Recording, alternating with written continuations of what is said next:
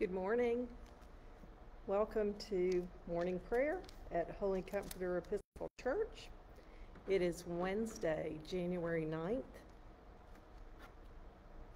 and we will begin our service of morning prayer with our opening sentence found on page 75 of the Book of Common Prayer.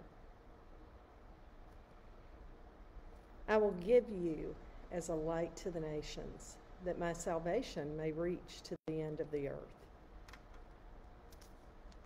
Let us confess our sins before God and our neighbor.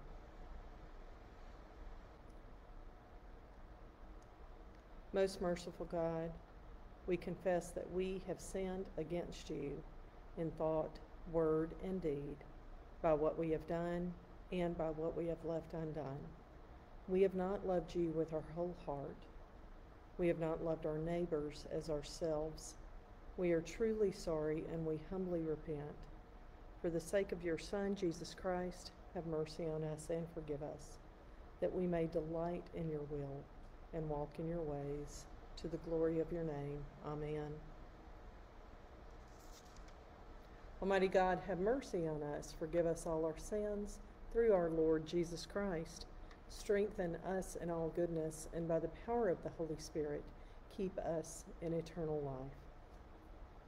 Lord, open our lips, and our mouth shall proclaim your praise. Glory to the Father, and to the Son, and to the Holy Spirit, as it was in the beginning, is now, and will be forever. Amen. Let us together pray by reading the Venite found on page 82. The Lord has shown forth his glory. Come, let us adore him.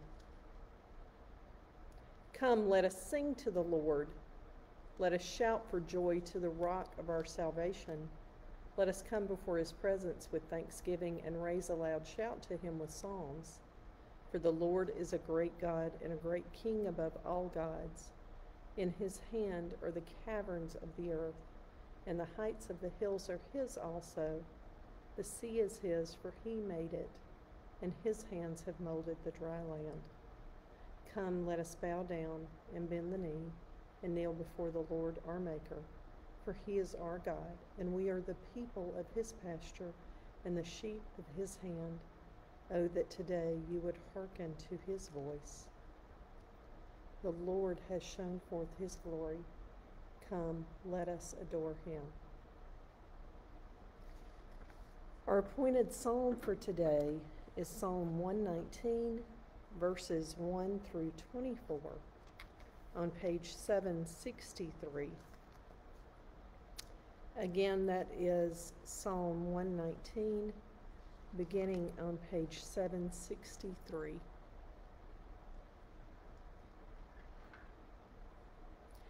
Happy are they whose way is blameless, who walk in the law of the Lord. Happy are they who observe his decrees and seek him with all their hearts, who never do any wrong, but always walk in his ways. You laid down your commandments that we should fully keep them. Oh, that my ways were made so direct, that I might keep your statutes. then I should not be put to shame when I regard all your commandments. I will thank you with an unfeigned heart when I have learned your righteous judgments, I will keep your statutes. Do not utterly forsake me. How shall a young man cleanse his way? By keeping to your words. With my whole heart I will seek you. Let me not stray from your commandments. I treasure your promise in my heart, that I might not sin against you. Blessed are you, O Lord. Instruct me in your statutes. With my lips I will recite all the judgments of your mouth. I have taken greater delight in the way of your decrees than in all manner of riches. I will meditate on your commandments and give attention to your ways. My delight is in your statutes. I will not forget your word. Deal bountifully with your servant, that I may live and keep your word. Open my eyes that I may see the wonders of your law. I am a stranger here on earth. Do not hide your commandments from me. My soul is consumed at all times with longing for your judgments. You have rebuked the insolent. Cursed are they who stray from your commandments. Turn from me shame and rebuke, for I have kept your decrees. Even though rulers sit and plot against me, I will meditate on your statutes. For your decrees are my delight, and they are my counselors. Glory to the Father, and the Son, and the Holy Spirit, as it was in the beginning, is now, and will be forever. Amen. Our first reading today comes from the book of Genesis, beginning in the fourth chapter, verse 1 through verse 16.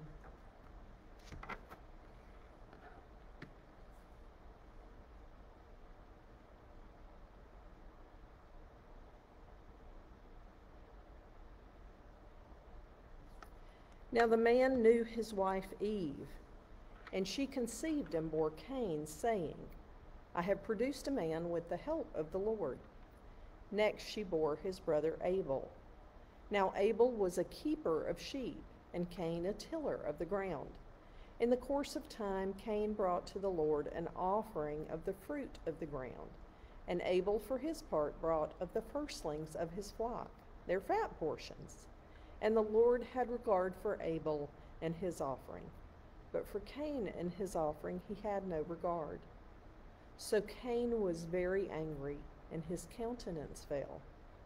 But the Lord said to Cain, Why are you angry, and why has your countenance fallen? If you do well, will you not be accepted? And if you do not do well, sin is lurking at the door. Its desire is for you but you must master it. Cain said to his brother Abel, Let us go out to the field. And when they were in the field, Cain rose up against his brother Abel and killed him. When the Lord said to Cain, Where is your brother Abel? He said, I do not know. Am I my brother's keeper? And the Lord said, What have you done? Listen, your brother's blood is crying out to me from the ground and now you are cursed from the ground, which has opened its mouth to receive your brother's blood from your hand. When you till the ground, it will no longer yield to you its strength. You will be a fugitive and a wanderer on earth. Cain said to the Lord, My punishment is greater than I can bear. Today you have driven me away from the soil, and I shall be hidden from your face. I shall be a fugitive and a wanderer on the earth, and anyone who meets me may kill me.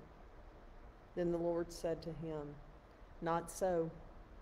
Whoever kills Cain will suffer a sevenfold vengeance.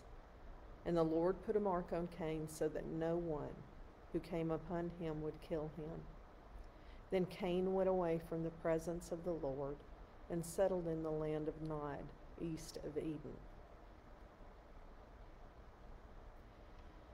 Hear what the Spirit is saying to the church. Thanks be to God. Let us together pray by reading Canticle 11, the third song of Isaiah, which begins on page 87.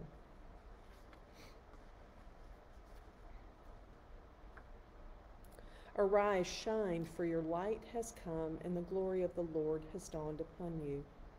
For behold, darkness covers the land, a deep gloom enshrouds the peoples. But over you the Lord will rise, and his glory will appear upon you. Nations will stream to your light, and kings to the brightness of your dawning. Your gates will always be open. By day or night, they will never be shut. They will call you the city of the Lord, the Zion of the Holy One of Israel. Violence will no more be heard within your land, ruin or destruction within your borders. You will call your walls salvation, and your portals praise. The sun will no more be your light by day. By night you will not need the brightness of the moon. The Lord will be your everlasting light, and your God will be your glory. Glory to the Father, and to the Son, and to the Holy Spirit as it was in the beginning, is now, and will be forever. Amen.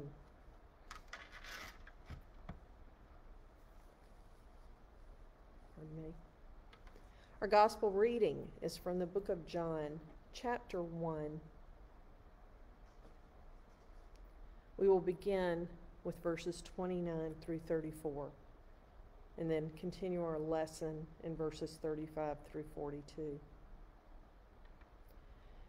The next day, he saw Jesus coming toward him and declared, Here is the Lamb of God who takes away the sin of the world. This is he of whom I said, After me comes a man who ranks ahead of me, because he was before me. I did myself not know him, but I came baptizing with water for this reason, that he might be revealed to Israel. And John testified, I saw the Spirit descending from heaven like a dove, and it remained on him. I myself did not know him, but the one who sent me to baptize with water said to me, He on whom you see the Spirit descend and remain is the one who baptizes with the Holy Spirit and I myself have seen and testified that this is the Son of God. The next day, John again was standing with two of his disciples. As he watched Jesus walk by, he exclaimed, Look, here is the Lamb of God. The two disciples heard him say this, and they followed Jesus. When Jesus turned and saw them following, he said to them, What are you looking for? They said to him, Rabbi, which translated means teacher. Where are you staying? He said to them. Come and see. They came and saw where he was staying, and they remained with him that day. It was about four o'clock in the afternoon. One of the two who heard John speak and followed him was Andrew, Simon Peter's brother. He first found his brother Simon and said to him, we have found the Messiah, which is translated anointed. He brought Simon to Jesus, who looked at him and said, You are Simon, son of John. You are to be called Cephas, which is translated Peter. Hear what the Spirit is saying to the church.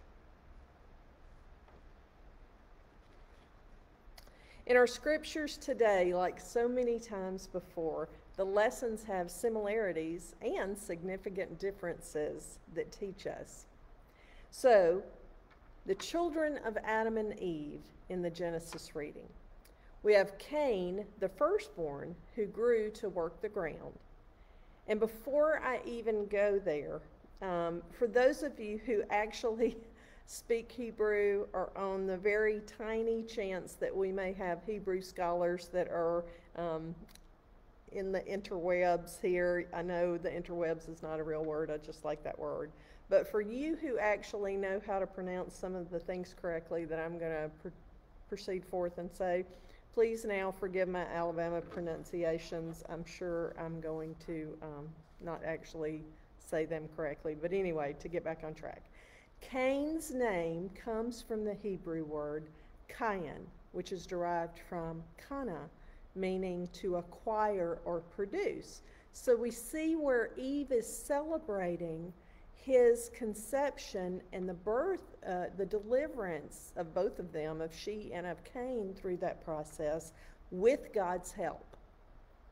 Abel, on the other hand, who grew to be a shepherd, he was likely in charge of sheep his name comes from the Hebrew hebel, which translates as fleeting or a vapor. And we, or even the word vanity, we will see this later or hear this later in Ecclesiastes when the teacher in Ecclesiastes reinforces over and over that all of the things that had been experienced were but a vanity. And truly, we see that Abel fulfills his namesake as fleeting or a vapor because his days are, as we call them, numbered. He exits and leaves our story too soon. Now, the Cain and Abel story is likely one of those st- stories of our ancestral faith that many of us feel that we know well. Um, we've heard it so many times, uh, many of us from childhood, that we could tell it from memory. It is the story of the two offerings. One of them, Abel's, was good and pleasing. One of them was lacking and in, in the eyes of God versus the other. And Cain was angered, murderously angered, and he acted on it.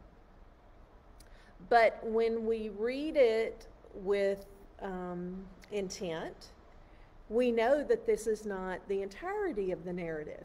And what we hear is that there's a pause in there, a pause in which God Himself notices Cain's emotion and expression, and God attempts a reasoning with Cain. And He offers him a path of acceptance and also a warning and it was a warning of the consequence of sin. Now, sin is a polarizing word. If we were to poll 100 folks in the church, I wonder how many of us would give or land on exactly the same definition of sin. So, when I find myself in this situation where there's variability about our understanding, I always turn to Scripture, which is literally our gold standard. And I use the New Revised Standard Version translation of the word, um, as we do in the Episcopal Lectionary. And the word sin appears in it 418 times. Um, exactly, to give you the exact count, 297 times in the Hebrew Bible and 121 times in the New Testament. So, as you might imagine, going into the Word, those 400 to get those 418 references felt a little intimidating to me. So I settled back into what is always my second source. Not that it's well, it's okay that it's secondary to the Scripture, but it's a wonderful source um, that I typically turn to. One of my mentors um, and also my sponsoring priest, Father Lonnie Lacey, calls it our birthright as Episcopalians, and it is the Book of Common Prayer. So if you go to page 848 in the Book of Common Prayer, we can find a definition for sin, and I think we can all agree on it. Sin is when we follow our own will instead of following the will of God, and thereby we are being centered on ourselves instead of God. And we distort our relationship with God, with other people, and with creation. So I think that's a really good representation of what Cain did. So again, God appeals to Cain that he must master his desire to follow his own will and his own self centeredness he appropriately called Cain out, that that perception was distorted. Um, again, level setting who Cain was in relation to God and others, so clearly to his brother, and to the good creation that God had given their family dominion over. And that is the comparison of the two offerings. Again, Abel gives the first fruits, the fatty portion, etc. All we hear in our lesson is that Cain gave an offering. But we know the rest of this violent story. He immediately goes and seeks his brother out. An innocent is slain. The ground uh, is opened and receives the blood, and therefore the tale could not be contained. The, when the tragic news comes out, a son is sent out of relationship with his family, obviously, and with God. So, how different is our gospel today? We have Andrew. He had likely been aware of Jesus, at least since the previous day, that bracketed reading that we have, because he was one of John the Baptist's followers. And we see that John was openly giving testimony that Jesus was the Lamb of God. And I would love nothing more than to pause here today and sit more deeply into how rich of a testimony that would have been um, in their belief and culture um, based on their sacrificial system and their festival liturgy, but we'll move on. Um, but even if Andrew didn't know fully everything about Jesus at this point, he was being guided by his teacher, John, that this was the Messiah. We heard the translation, the anointed one, the one who was to come. And that's where we are when John says again in that second episode in the reading, the one that began on verse 35, the next day, look, here's the Lamb of God. And Andrew now knew that John was talking about Jesus and he was the Messiah. And for that reason, Andrew leaves John and follows Jesus. In this narrative, we also have a pause, not due to emotion or expression, but purely based in love. We can feel it across these many hundreds, thousands of years, and in the next few words. He first found his brother. Andrew then brings his brother Simon to Jesus, saying, We found the Messiah. And Simon is now named by Jesus Cephas, or as Peter, that we're familiar with. And we know the rest of this amazing story. Again, a brother is immediately sought out.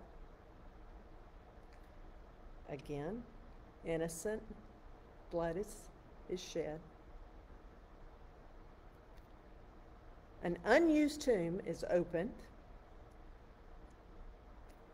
and a body is received, and it could not be contained. And when this good news got out, a son brought us into a family, into the family of God. Amen.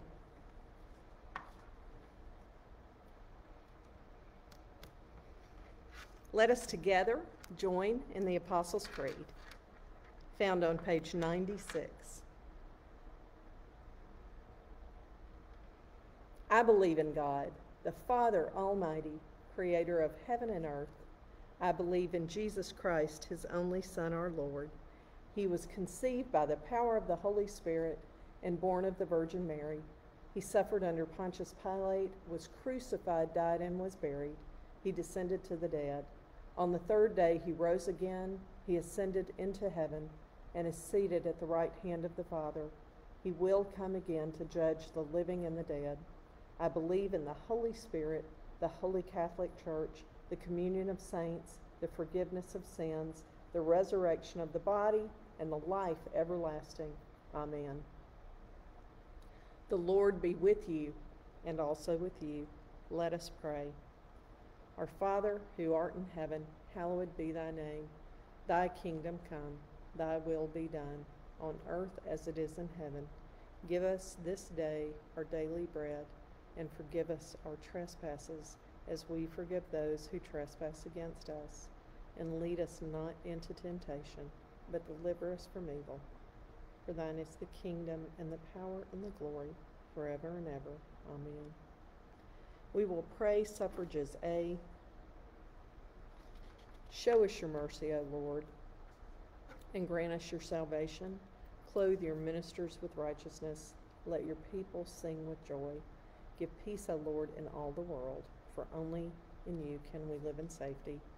Lord, keep this nation under your care and guide us in the way of justice and truth. Let your way be known upon the earth, your saving health among all nations. Let not the needy, O Lord, be forgotten, nor the hope of the world be taken away. Create in us clean hearts, O God, and renew a right spirit within us. Sustain us with your Holy Spirit.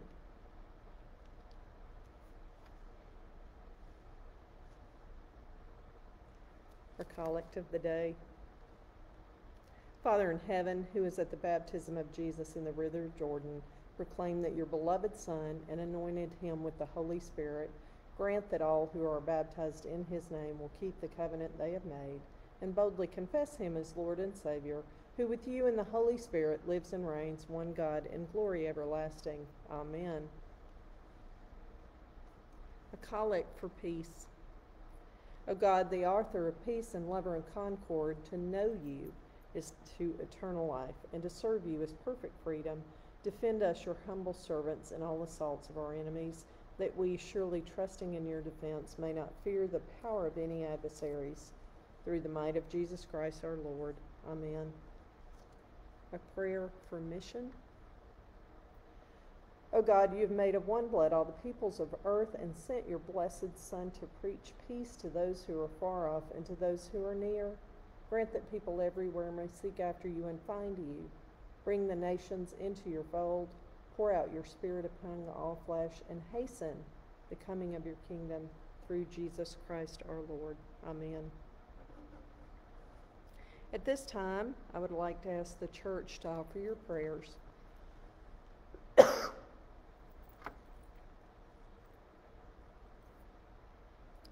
Seeing none in the chat, we will continue to lift the prayers of yesterday for Richard, Ken, Ellie, Bill, Judy, Brenda, and Becky. For those of you who are lifting our prayers in our weekly service bulletin, we pray for our sick, Celeste, Elaine, Roger, Charles, David, Walter, May, Bill, Cynthia, Lee and Bonnie, Urban Rhonda, Chris, Joe, Linda, and Pat. We celebrate the birthdays in the parish, especially Fred, Charles, and Quinn.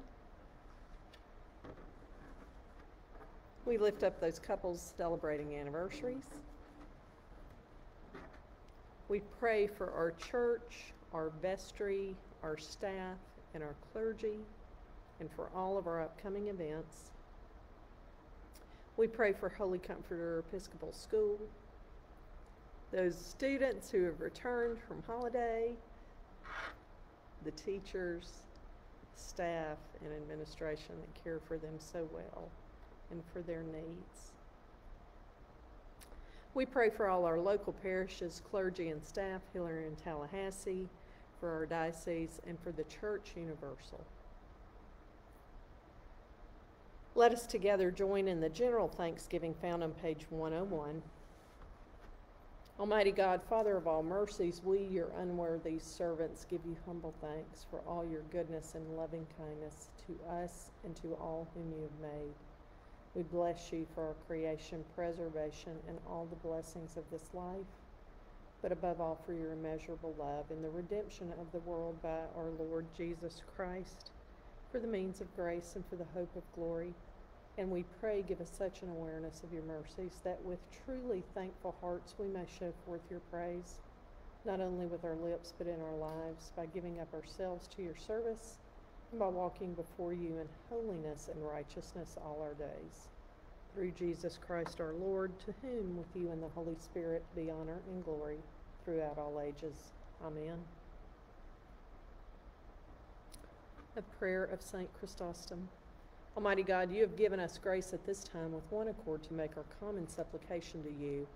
And you have promised through your well beloved Son that when two or three are gathered together in his name, you will be in the midst of them. Fulfill now, O Lord, our desires and petitions as may be best for us, granting us in this world knowledge of your truth and in the age to come, life everlasting. I would like to offer the prayer for peace on page 815 of the prayer book. Eternal God, in whose perfect kingdom no sword is drawn but the sword of righteousness, no strength known but the strength of love, so mightily spread abroad your spirit that all peoples may be gathered under the banner of the Prince of Peace as children of one Father. to whom be dominion and glory now and forever. Amen. Let us bless the Lord. Thanks be to God. The grace of our Lord Jesus and the love of God and the fellowship of the Holy Spirit be with us all evermore. Y'all have a great day. Spread the light and be the church.